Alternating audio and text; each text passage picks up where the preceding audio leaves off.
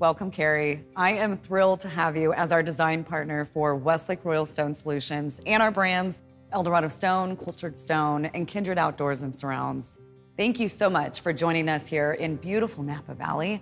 I am excited to see what we are doing today. I have always been a huge fan of your work, and I know that you have worked with our products for many years.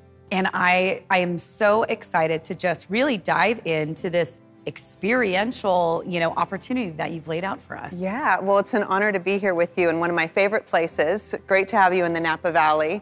And to be a design partner of yours, having used your product for so many years and really having it be part of the show that we share with our clients. And so having you here is really special. And we're we're just so honored to have you really do this beautiful tablescape for us. And I can't wait to really get into the details of this. But before we do, I would love to learn more about you as a designer. Yeah, well, I've been a residential interior designer for 27 years and using your product for over 20 years. So with that, um, after graduating from Cal Poly in San Luis Obispo, I worked for Ralph Lauren, which has been a big influence in my life. And some, you'll see some little elements of that still here today. Um, and then also working in the production home building field, and then having my own design firm, which we've gone into many homes and built them from the ground up and renovated and done all the things. So it's it's exciting to be a part of this industry and share some of the trends along the way. Yeah. Um, as we research them and also share them with the design community. I'd love to show you what we have here for you today.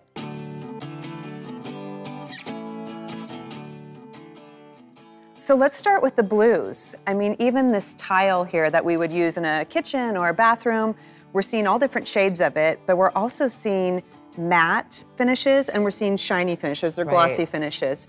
And similar to a lot of the product that you're creating, those handmade details are mm -hmm. really important, or those maker details. Little character details. Yep. Yeah. Give that authenticity, that grounding effect within the home. Also, we're seeing all of these elements be paired with brushed brass and brushed elements for not only a beautiful aesthetic, but also low maintenance. So we don't see any of those scratches oh, or anything. little fingerprints. Yeah, like absolutely. Yeah. yeah. absolutely right. And often we're asked, what can I do just to zhuzh my mm -hmm. house? And mm -hmm. with that, we're doing details that um, can just be thrown into a bowl or even open on a book, maybe paired with something from your travels in a bookcase yeah. or on a coffee table. Yeah. And incorporating these, again, sustainable looking right. or biophilic elements that have the natural details such as jute. Right.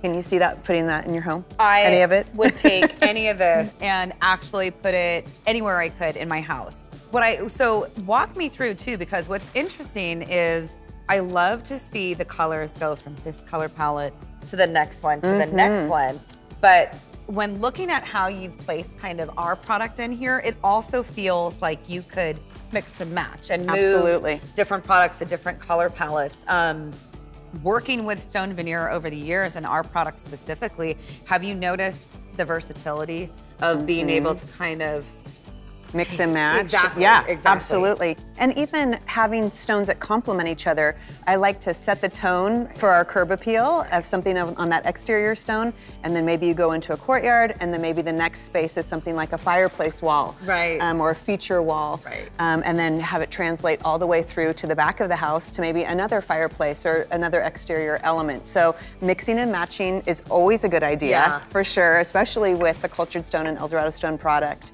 And this palette, maybe being a little bit more colorful, we move in over here to maybe some neutrals. Right. And trend-wise, we're seeing a lot of contrast. Yeah. Are you seeing that black and white as we well? We are seeing the same thing, and I love the products that you paired with it. This has such a sophisticated, you know, luxurious type of feel, but I love kind of the texture that is brought out with some of the choices that you've picked here. And those are the type of details we're looking for. So on a leather sample that may be a little bit more polished and not quite have the hand that something like this mm -hmm. does, you're giving us the personality and the texture. I see. In, in uh, our stone there. So that's something that we definitely celebrate.